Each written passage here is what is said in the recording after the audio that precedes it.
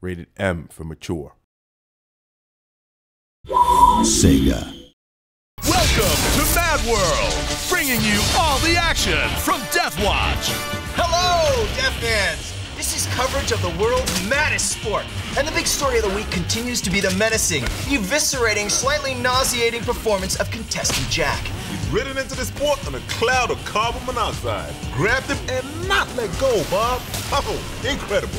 You just can't teach that. Oh, ouch! He had to split. You name it, Jack can use it to kill someone. You could give him a box of kittens and he'd make it a lethal weapon. And that's really becoming his trademark, Bob. He's racking up the fatals and the points with his creative kill combos. A great move here in Asian Town. Oh, that is some serious chow pain.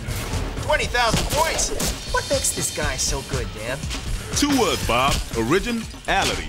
If we freeze the footage here, most guys would just go in with fists. but not Jack. He's gonna slam the big drum, go shish kebab on the signpost, and perforate the whole shebang on the rosebush. I tell you, if this guy was any better, he'd be me. No? If he were you, he'd be crying for his mom. And he wouldn't have been going to town on the bloodbath challenges. He's getting into the swing of things at the Giant Man darts board. Oh, that one is out of here. He's dead on the bullseye, literally. And back in Asian Town, Jack says happy 4th of July. Oh, and that's what the fans pay to see. That's all we have time for. Join us again on MadWorld for more Death Watch mayhem. And don't forget, visit madworldtv.com for even more action and agony. Take care out there.